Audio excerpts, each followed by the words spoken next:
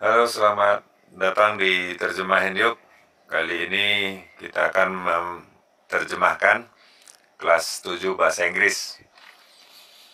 Nah, kita akan lanjut dari video kemarin sampai 194, sekarang 155. Kita akan melihat dari dari dekat gambaran-gambaran dari empat objek. Kita akan menganalisa pernyataan dan aktivitas yang berkaitan terhadap objek-objek tadi, terhadap objek-objek tadi. Kita akan menggunakan sebuah tabel untuk melaksanakannya. Nah, ini yang akan kita lakukan. Bekerja dalam kelompok. Pertama, kita akan mempelajari contoh secara seksama. Kita akan menulis, eh, menyalin dan menuliskannya di buku catatan. Kedua, untuk menganalisa masing-masing jabaran deskripsi kita akan menggunakan tabel yang sama. Masing-masing kita akan menuliskan analisis masing-masing di buku catatan atau menuliskannya dengan sebuah komputer. Terakhir, kita akan mendiskusikan, mendiskusikan untuk mengisi tabel dengan kata-kata yang benar yang berkaitan untuk masing-masing objek atau benda ya.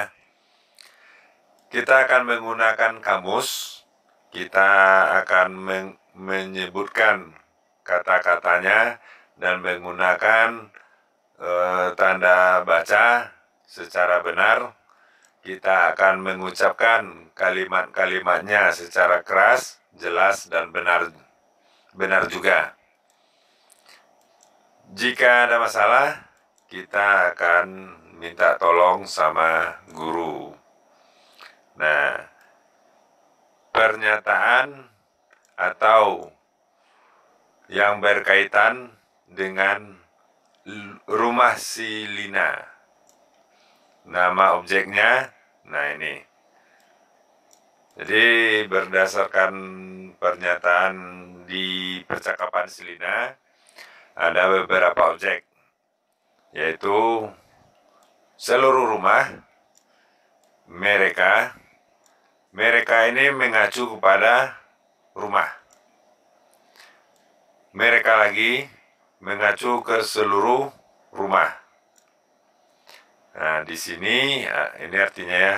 Nah, kita lihat satu-satu. Seluruh rumah terlihat sama. Itu dia pernyataannya.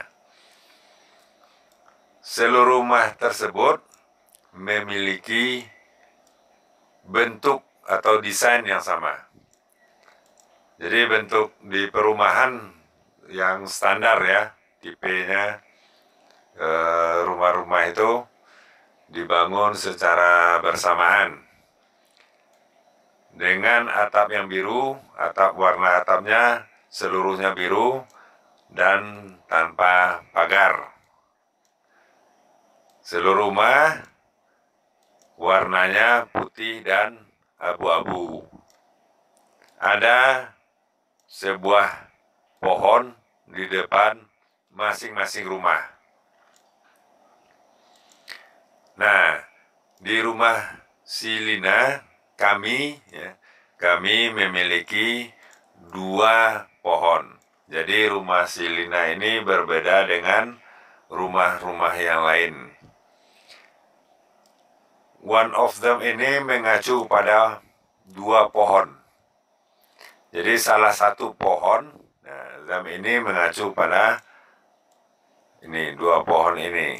Salah satu dari pohon tersebut adalah pohon belimbing.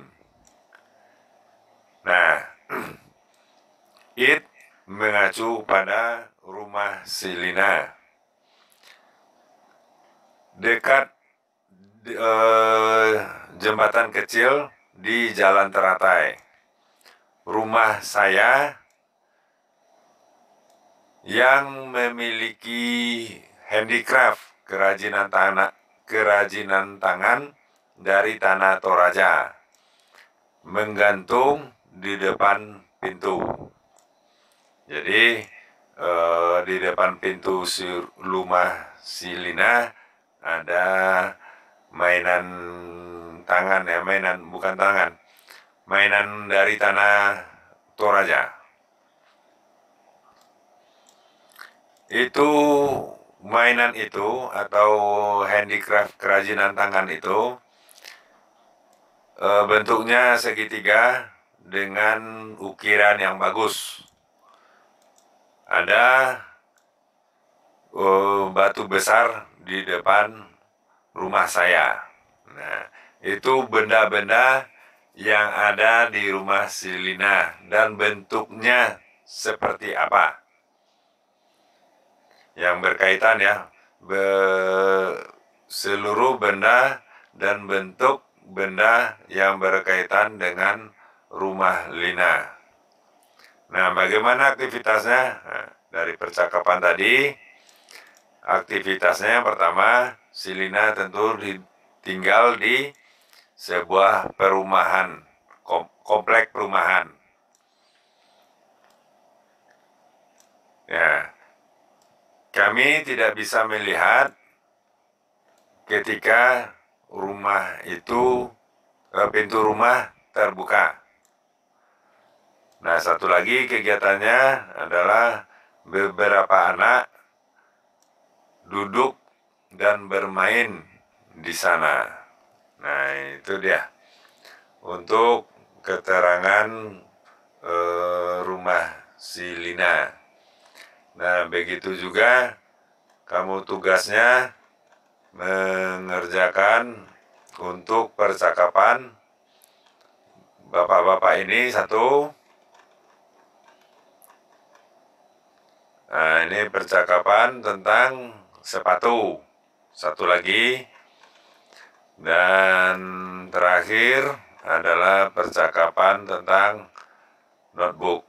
Ya, itu tugasnya ada tiga dan kerjakan de dengan kelompok. Nah, barangkali itu saja terlebih dahulu untuk kali ini.